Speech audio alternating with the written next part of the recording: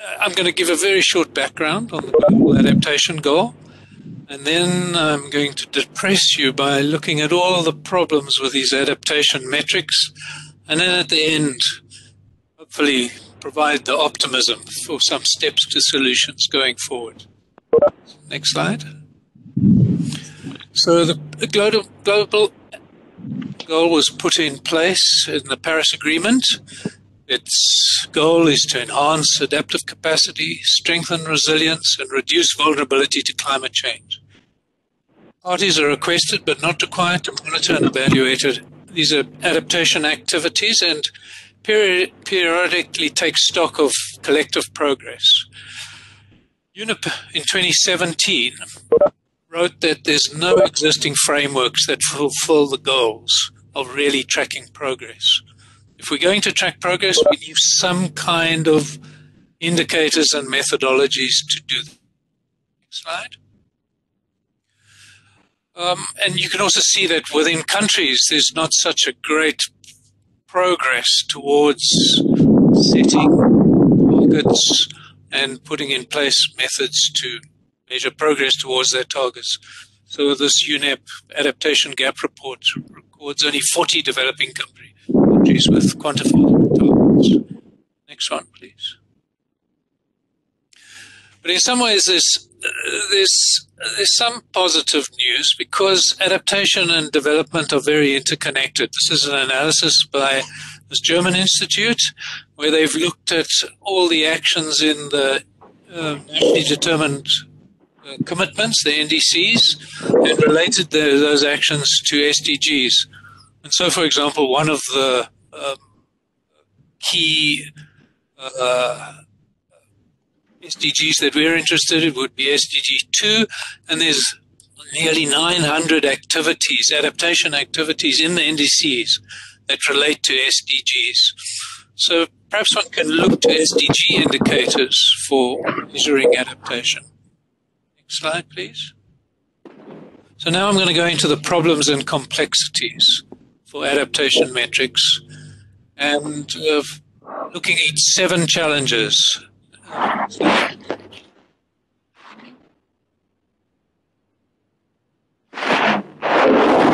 Next one, please. Yeah. But before I go into the adaptation one, let's just look at the mitigation one, where they've really sorted it out.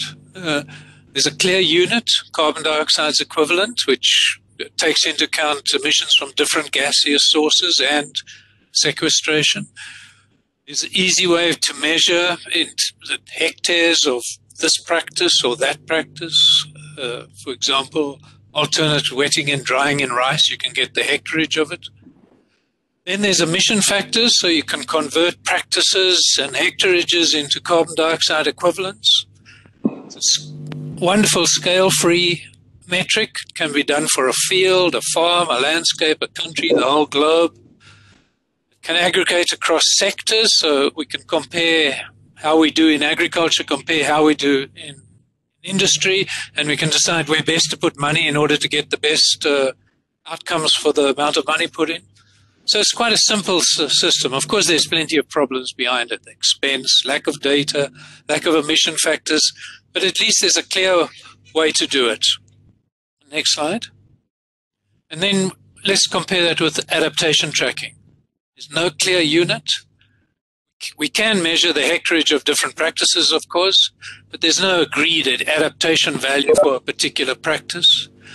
It's not scale free, so higher resilience of a particular plot does not mean higher resilience of a landscape. So, for example, a farmer implementing uh, solar irrigation may be great for his the resilience of his farm, but put solar irrigation on the entire uh, landscape, and you can destroy the resilience through uh, reduced groundwater. You cannot aggregate it across sectors. We haven't got any measures, so we can't decide where to put funding in order to best achieve adaptation goals. So it's not at all simple. So this leads to the first two challenges. There's lack of a single metric, and there's a lack of ability to aggregate information across sectors and from field, farmers' fields up to the global level. Next slide.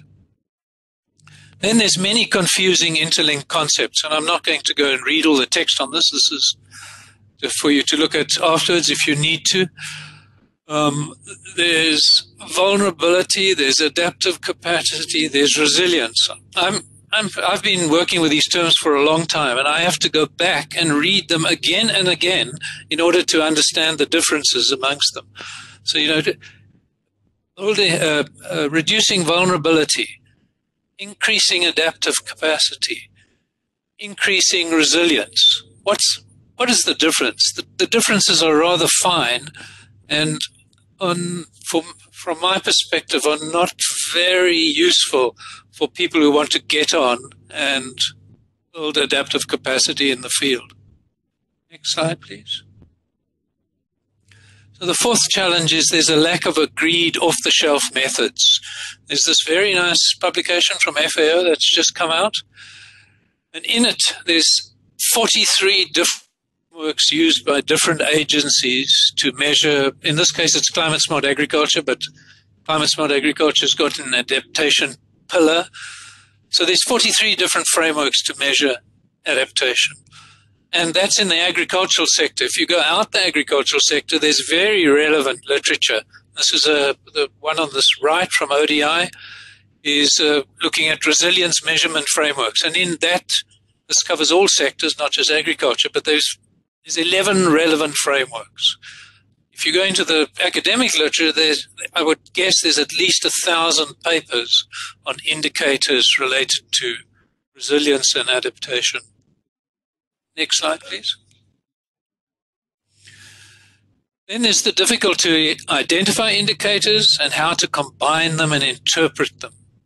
So just to take an example, the FAO tracking adaptation in agricultural sectors has 111 possible indicators. Which ones to choose?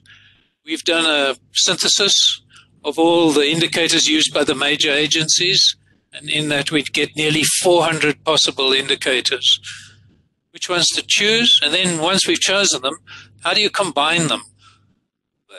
Are they equally weighted in some uh, final measure of adaptation, or are they weighted differently? It's a really complex area. Next slide, please. The sixth challenge relates to the nature of climate adaptation, where the timescales are both long and short. I give you an example here of index-based insurance for maize production, say in southern Africa, where we think it's a good, perhaps it's a key part of our theory of change. So the indicator is number of farmers insured. Perhaps that's really great in the short term, in the next five years, the next 10 years, but it could be maladaptive in the longer term, where what is required is actually a shift from maize production to other crops because of the changing climate. So tackling these long and short term goals in a single indicator set is pretty challenging. Next slide, please. The challenges are very multidimensional the indicators are, uh, are covering all the different fields. So, for example, Cinner and colleagues, when they write about adaptive capacity, they think you have to address five domains the assets in the farm, in the landscapes, flexibility to change, social organization to make change happen, the knowledge and learning so the options are at hand and what to do is is understood and the ability and agency to change. This is a range of different kinds of indicators that would be needed to track those sorts of things. Or if we get more down to earth let's imagine a project in a particular landscape where building adaptation may require a whole host of different things changing varieties, breeds, insurance, diversification, putting in financial service, governance changes, social protection mechanisms, and so on and so forth. This opens the door to many indicators, and how do you weight, weight them? What is the most important in judging overall adaptation? Next slide. Okay, so that was the depressing part. Now, the steps to solutions. I should also say a personal story is that about five years ago, I really thought it was important to bring agencies together to try and um, get some consistency across agencies. We had a nice meeting, but I could just see that it was not going to go anywhere. And in fact, I decided to step out of this area of work because of the complexity and the different agendas. So it was a bit worrying when I was asked to give this presentation because it really meant me coming back to engage in the topic again and hopefully find a solution. So this would be my current uh, steps to solutions. So I think in brief, uh, and then I'll go in and discuss each one. Have a good theory of change, use standard M&E frameworks, use very context-specific indicators in projects, and I'll give some sources of indicator inspiration.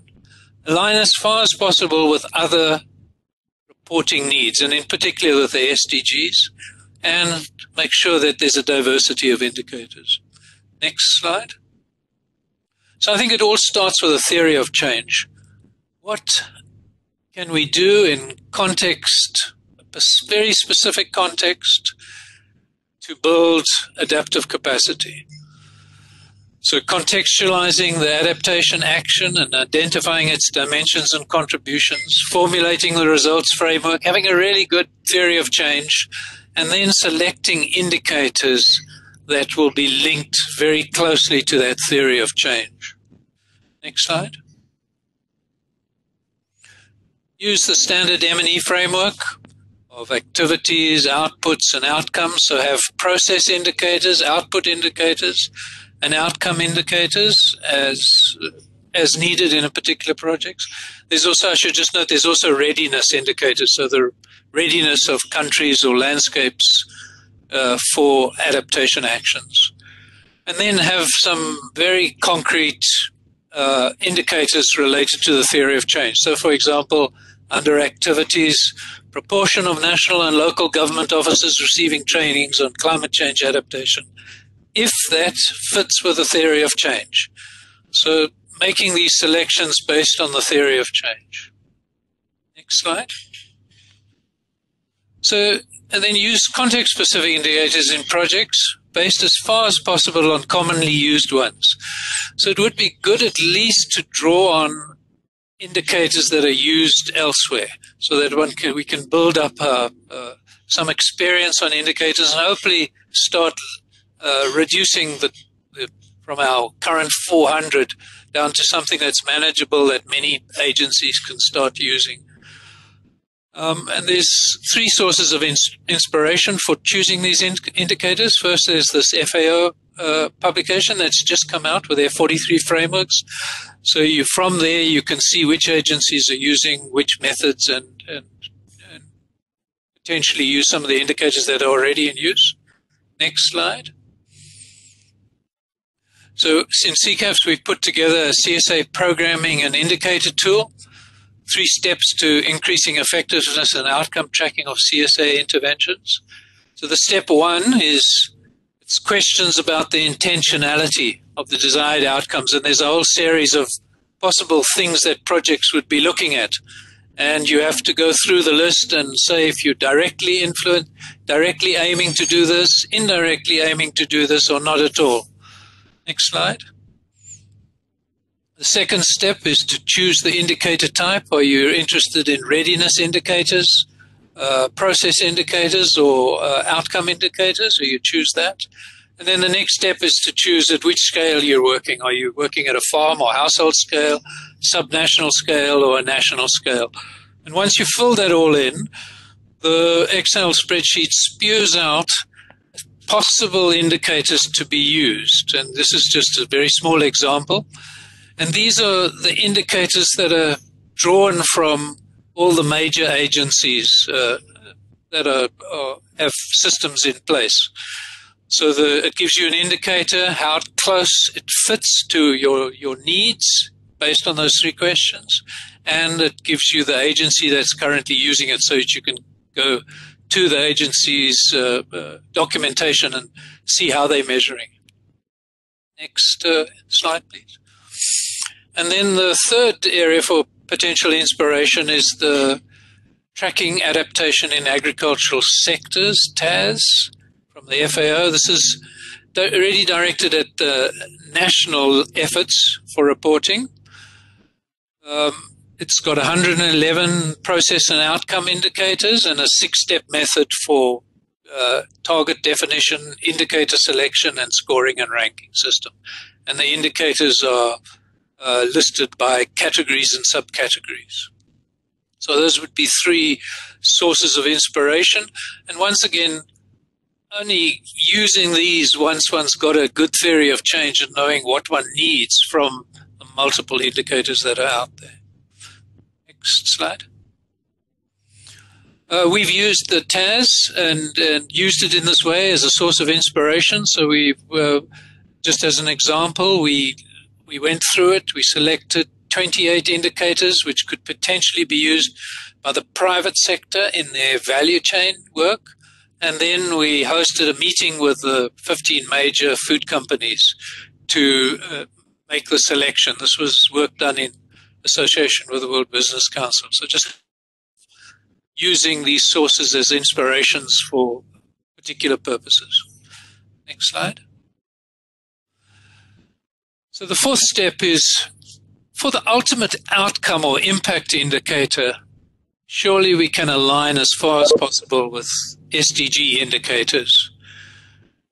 Just before I go into potential indicators, what do we actually want from a resilience outcome or impact indicator? In the food security arena, I would say we're looking at social welfare. So if you look at the black line, that's business as usual. Uh, social welfare goes up and down. Then there's a shock, and then there's a huge decline in social welfare, which may rise rapidly because of humanitarian assistance or something like that after the shock. But then there's a decline thereafter again. And then a, we would be aiming to put in a project which builds resilience. The project is because of this linkage of adaptation actions and general SDG actions, there's many co-benefits. So the project is likely to do better than a, a business as usual. When the shock happens, the, uh, the project decline uh, may not be as much as business as usual. And then hopefully if we've done the right things, there's rapid recovery after the shock. So we're looking for a, an indicator and really, to understand resilience and adaptation, we need to have a time series of data for the impact. In many ways, this is if for mitigation, there's a single um, uh, metric, carbon dioxide equivalent. I don't think we'll ever get to a single metric for adaptation, but one of the metrics is surely going to have uh, a dollar value as a currency, although I realize there's many problems with dollar values. Next slide, please. So then going into the SDGs, I'm believing that looking through the SDGs and given their adaptation linkages, social welfare indicators can be drawn from a number of different areas depending on the focus of the particular project work. Poverty reduction, food security, gender gaps, etc., etc. How would how does the gender gap change in relation to a shock event? Does uh, if we're doing well in terms of adaptation, do we get less of a problem happening, and do we get rapid recovery? Next slide. So potential SDG indicators linked to social welfare are these ones. Proportion of the population below the international poverty line, if we're going to have to measure it for SDGs, why don't we also do it for projects?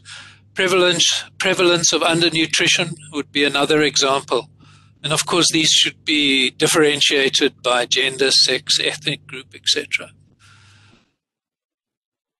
Um, the next slide. Yeah, thank, thanks. Uh, so the first step for the process or the output indicators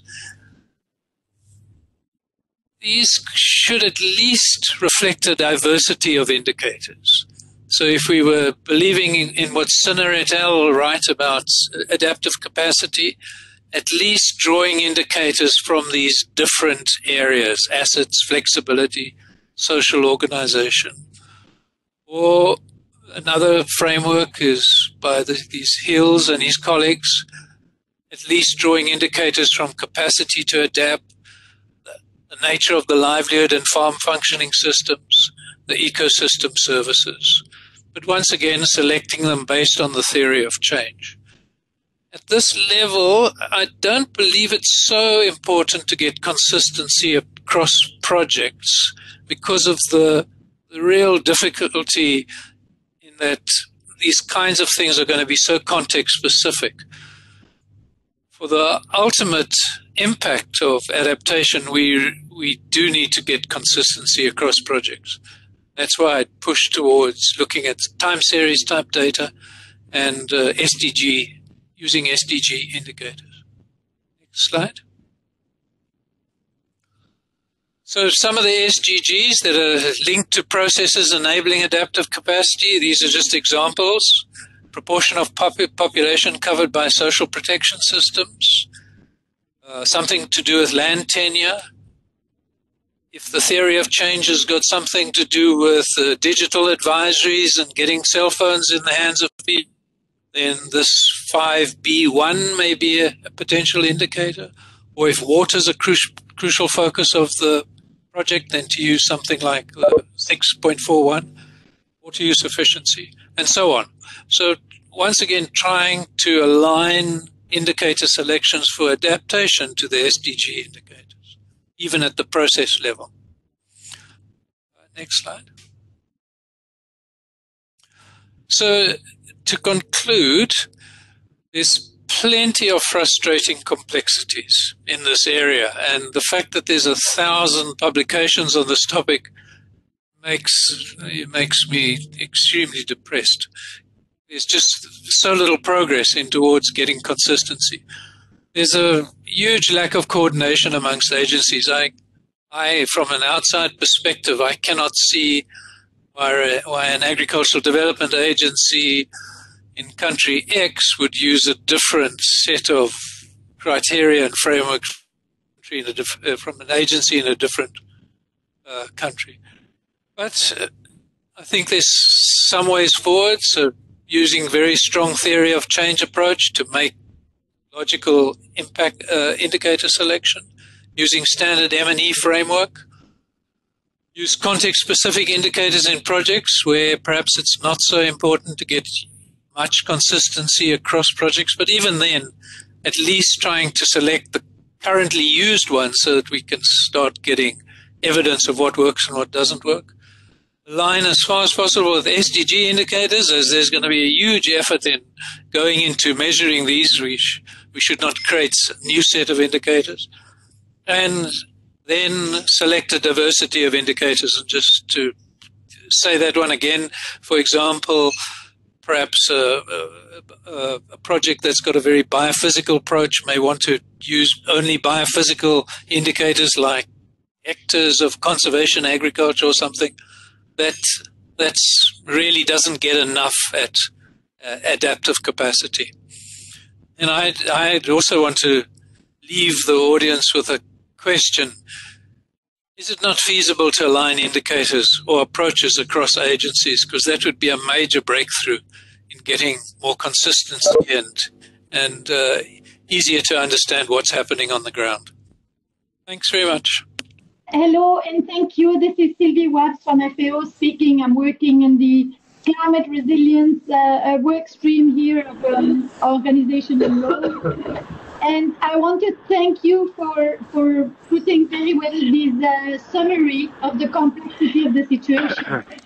And I would just like to flag that perhaps one also way of moving together on indicators and, and monitoring of adaptation and resilience we need to have um, a joint conversation agreeing on the key type of interventions that are needed forward on resilience and adaptation to climate um, risk, climate change, especially for agriculture system, but also for the other sectors. But if we just bring it to the agriculture food, we would just like to follow up on a conversation with you and the, the other colleagues because we are we are proposing a set of interventions that could rally or demystify a little bit more what is it that we are trying to do in addressing both short-term risk, disasters, extreme events, also other medium-term changes. So I'd be happy to carry on another conversation, or if you can tell us, do you have a forum already for addressing this?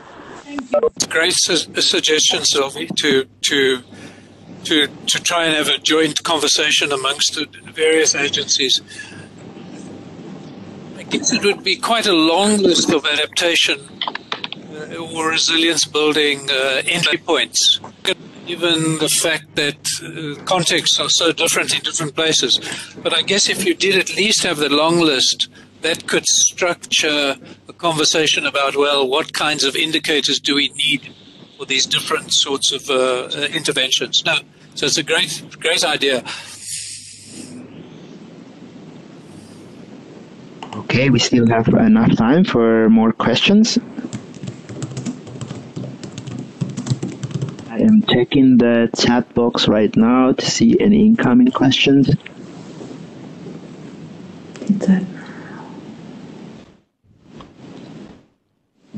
Let's see a question from Sarah. I have, yeah, I have a, uh, exactly, I'm going to read it. Um, thank you for the presentation. I have a ra- rather practical question. Irrespective of indicators, how do you establish the counterfactual of the non-project path? Is this a problem for all indicators? Yeah, I think it's a great question because to assess a resilience or adaptive capacity, you essentially need time series data and you uh, you have to have a counterfactual of the project versus the business as usual or the non-project path. So there's a whole bunch of methods to be able to do that, and it's but it is particularly challenging, and it's a problem for all indicators in all sectors in any case. So it's not only a case in uh, agriculture and food security, but it's a it's a challenging area, but uh, something that's definitely needed of having a counterfactual. Okay, and I, I'm going to continue on to the second question uh, from John Choptiania. Are there specific tools or approaches, for example, one of those reports that you highlighted that you would recommend that people converge on, or do you think that we need to collectively come up with a new set of indicators together? It's from John. So, John, I I think it would be very dangerous for me to suggest one because the, the agency that I suggest would be very happy and the others would be very angry. So you know, there's positives and negatives in all in many of the different schemes, and I think it needs these agencies to really come together and make an agreement about something. And perhaps failing that, and would get perhaps an expert group together and and really just so that one moves forward on converges on something. Um, and I think I'm going to build uh, uh, onto that with another questions regarding the same uh, concern. It's uh, Manuel Urrutia. Um, provided that culture is generally context specific in the CSA program and indicator tools, how much flexibility do you allow for E practitioners to uh, tailor indicators and their metrics to suit their particular needs? I, th- I, th- I think it's a it's a it's a very good question as well because I find adaptation and agriculture in general is so context specific. For example, you know, conservation agriculture in particular location, a particular set of household assets, is a great way to do uh, to build adaptive capacity a location where those assets are missing and the biophysical conditions are different, it may be the totally maladaptive pathway. So many examples like that. Therefore, one does have to be very context specific. I'm still, I, would still think that if one had a long list of indicators, and perhaps what Sylvie suggests is to have a set of indicators for different contexts, one could still converge on some things which are similar. Also, the difference is the. It's also depending on if you're thinking about process indicators or or output and outcome indicators. At the process level, perhaps it's not so, there's going to be such divergence and context specificity that you could imagine very uh, indicators for specific projects. As you go up the up the back pathway towards outputs and impacts, hopefully there's more convergence. Uh, yeah, hi, this is Todd Crane from ILRI, and I'd like to broaden the conversation a little bit because much of this presentation was focused around project level indicators. But at the same time, national governments are increasingly mandated to do reporting against the, the NDCs um, internationally. We uh, merge these conversations so that the project style indicators uh, conversation can go into the conversations at national level government uh, reporting. Yeah, so um, you know the mitigation people have really got it down an easy job because they go from uh, fields to the globe, all with the same indicators more or less. Uh, and one would hope that there's connections as well in the what we think about adaptation. So one can think of some indicators at least which can potentially scale, such as uh, uh, dollar one income at farm level, income at district level, income at global levels. Uh, so there are, are, are potential indicators, and in some of the frameworks that I've presented, for example, the TAAS from FAO is, a, is, is really focused at the national level, but within it, there's indicators that you can use at project level. So I, I don't, I don't totally see the disconnect between project level approaches and uh, national level approaches. Well, I'm sure we could keep talking about this for a long time, but yeah, I think the the, the interest of level M&E, the, the, the purpose of that is very different than kind of national level reporting to against national agreements. So I, I think that those different contexts are, are at some level going to require different uh, types of measurements with, with inevitable trade-offs along the way. But but I but I think these um, between those two different levels of tracking and reporting is, is going to be an important thing to thread into the conversation at this early uh, stage. I'm going to read on the next comment.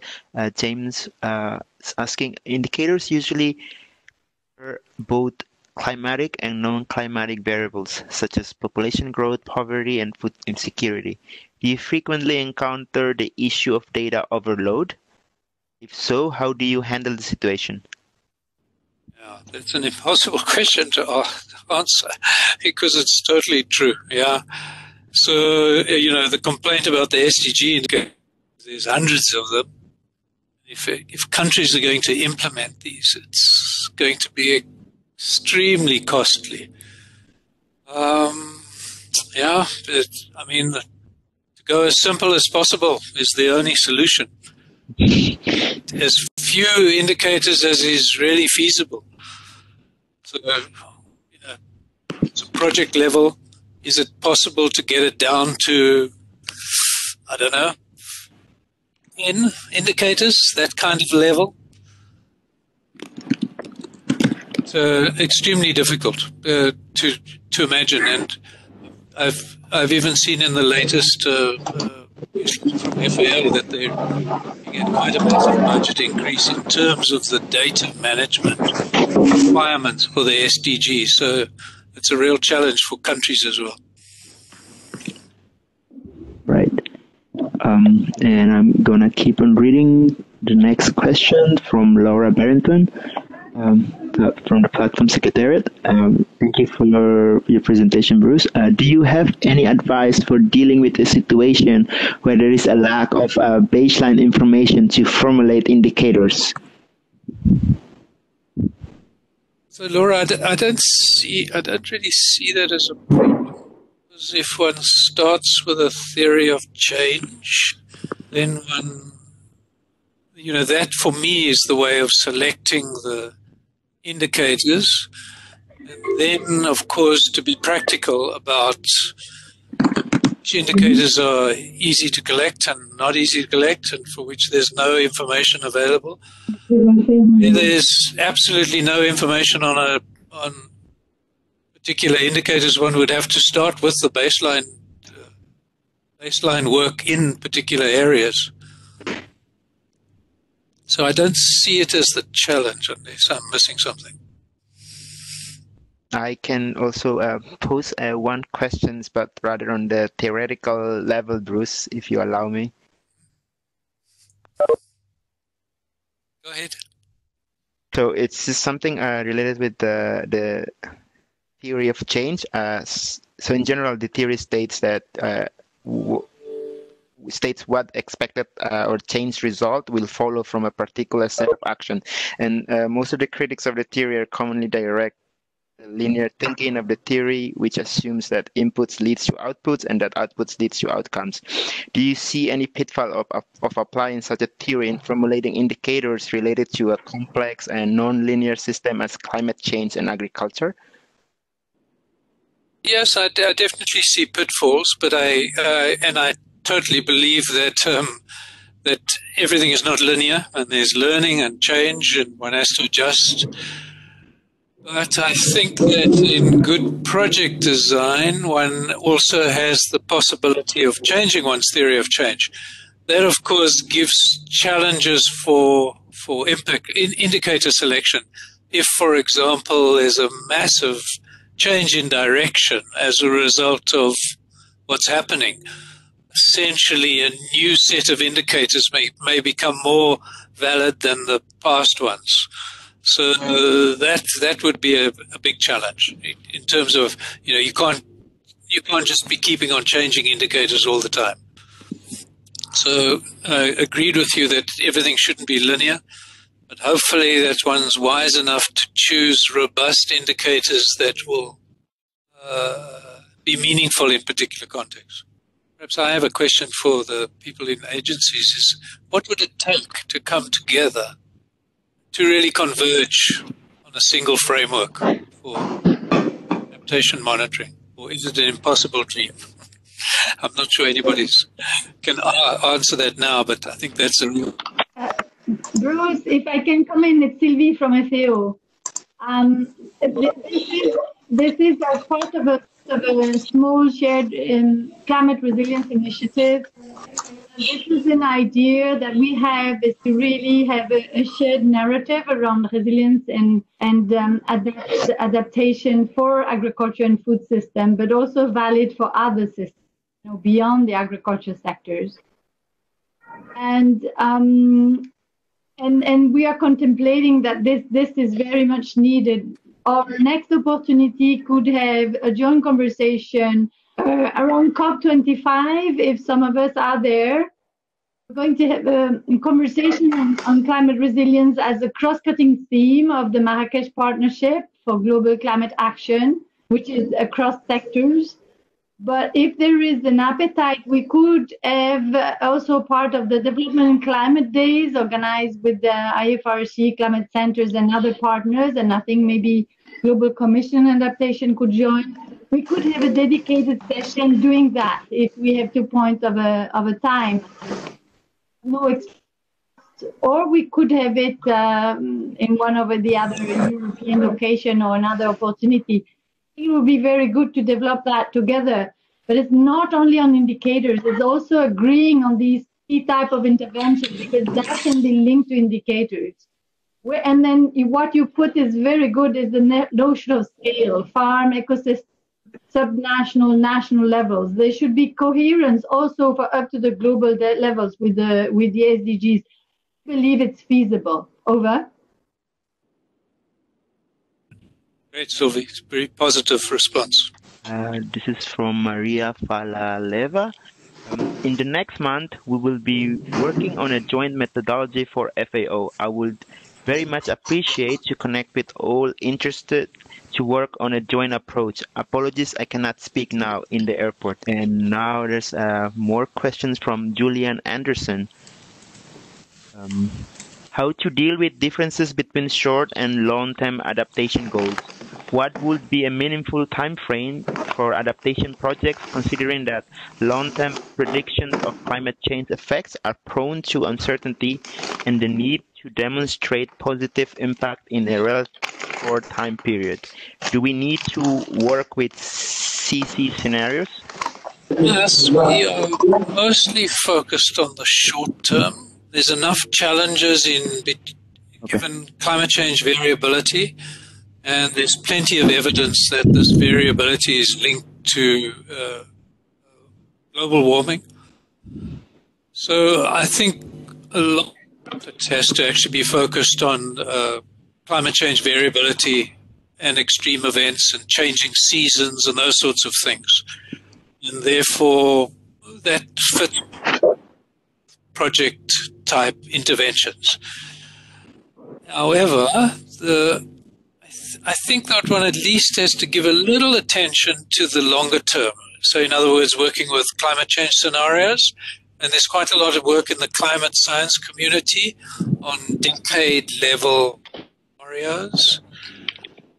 So that one at least is implementing no regret options or at least thinking about maladaptation and the possibility that short-term actions which deal with variability may not may, may well be maladaptive in the longer term. So the, the answer is uh, perhaps 85% of the effort is is, is short-term and dealing with uh, climate change impacts that we're already feeling, and and some small amount of effort is making sure that we understand at least try and understand the no regret options for the kinds of uh, projections that are uh, relevant in particular places. I, I, would like to uh, submit a second question. Um, staying in the theme of difficult questions. So who's the, who's speaking? I'm sorry, this is Todd Crane from ILRI. Okay, Todd, I hope you can answer your own question. well, I want to know what you think. Um, you know, we're thus far we're treating adaptation as a as a we can observe it's a it's a technical practice. Um, we haven't clearly addressed, I think, as a as a tracking community and in intervention community, the questions of of how adaptation is inevitably creating winners and losers uh, sometimes through hard trade-offs uh, that are deliberately made, sometimes through uh, vested interests and power plays that are made through any processes of change. Uh, so how can we integrate this, the distributional effects of adaptation as a part of tracking? Yeah, great question. Um, yeah, uh, so I, I I'm totally in agreement with you that there's going to be winners and losers. Um, and but I, I think that that would be part of your theory of change, so that one has an understanding of where things are likely to go for marginalized groups, and that one has differentiated interventions that try and address some of those.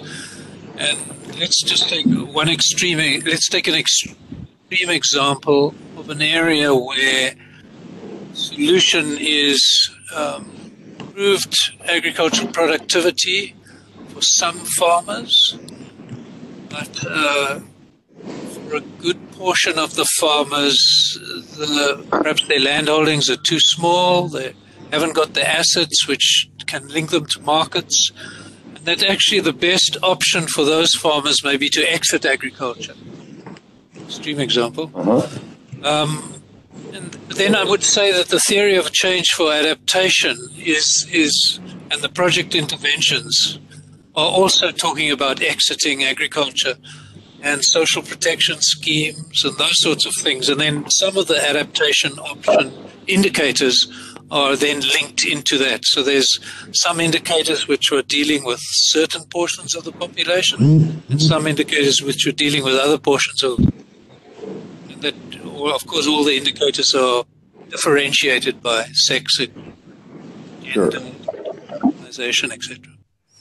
Well, I suppose my my question background to it uh, goes back is that my given uh, current research project that I'm working on through uh, GIZ funded um, project is trying to look at developing adaptation tracking protocols for livestock systems, variety of livestock systems in East Africa, uh, for national govern- governments to report against the Paris Agreement. So it's less about a theory of change in a project than than trying to anticipate pathways of change in across landscapes, ecological landscapes.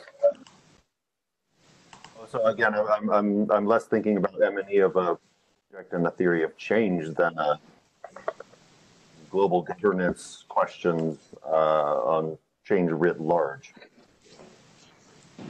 But I think, uh, but I would still say that a theory of change approach to not to, to make interventions, but for you to understand the possible trajectories would be a, a good starting point to mm-hmm.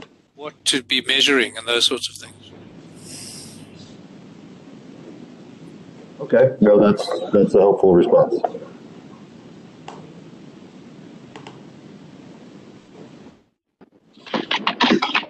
Just to follow up, I mean, for for example, national governments don't really have a theory of change, but they exactly. do have national plans, and they do have objectives, and one can then uh, think about what's likely to happen and what may no, may not may happen as a result of plans which may not, which may will create winners and losers. Then have a system to to to be able to track what's happening based on one's essentially a theory of change, though the governments wouldn't be calling it that. No, of course not. Would you like to a few more um, insights or just go over again the practical steps uh, to the participants, uh, just uh, to summarize the points that we've discussed as well uh, during the discussion? Yeah, no, I think um, uh, uh, rather than summarizing what I said already, I think the discussion has been interesting and perhaps a really positive part is the interest by some to to try and uh, have a joint conversation about these issues. I think that would be extremely valuable, especially if, of course, convergence could be achieved at the end, because there's still very agency specific agendas. But that would be great if that happened. And then some of the questions have really highlighted the challenge, uh, challenges which perhaps I didn't talk about, which are things like counterfactuals, the fact that data uh, data overload and the real expense of doing these baseline surveys and tracking systems. And then the stuff that Todd also brought up about winners and losers and making sure one's understanding the full spectrum of, of things that are happening in particular landscapes or national, national jurisdictions. So I think that's all for me. Thanks. Okay. All right, then if we don't have anything else to ask and to comment on, then uh, we can uh, close the sessions. Uh, but before that, I would like to thank everyone for your time, uh, for engaging uh, in this webinar. And I would like to thank Bruce for uh, his time to prepare this slideshows and to uh, basically present and respond to all the questions. Thank you so much, Bruce. Uh, um, I hope that uh, everyone um, can learn uh, from uh, what has been presented and has been discussed. If you have any questions that you would like to address, uh, feel free to uh, to um, our webinar consultant, Emily uh, Kilham. the email address is provided in the invitation. and I would also like to remind everyone that we will upload the recording of the webinar um, and also the highlight and the full report of it in our website uh, www.donorplatform.org uh, slash uh, webinars. Um, yeah we'll we'll update all the information there. So thank you everyone and uh, have a good um, afternoon. Have a good uh, evening or a good start of your day